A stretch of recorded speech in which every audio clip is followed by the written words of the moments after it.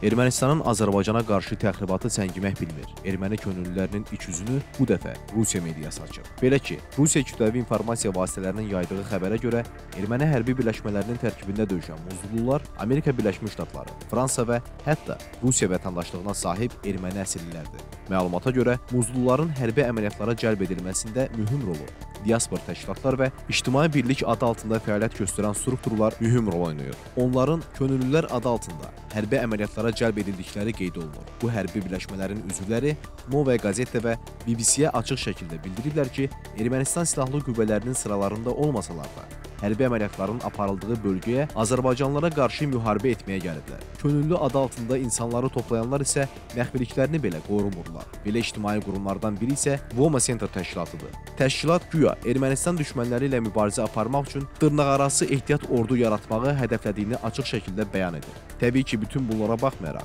Rusiya Federasiyası Cinayət Məcəlləsinin 208-ci maddəsinə əsasən ölkə xaricində silahlı qruplaşmaların tərkibində hərbi əməliyyatlarda iştirak etmək 15 ilə qədər həbs cəzası ilə nəticələnə bilər. Elə məhz buna görə də qondarma təşkilat dırnaqarası könüllüləri birtərəfli biletlə təmin edir. Həmin şəxslər Rusiyaya qayıtdıqda məsuliyyətə cəlb olunacaqlar deyə məlumatda qeyd olunub.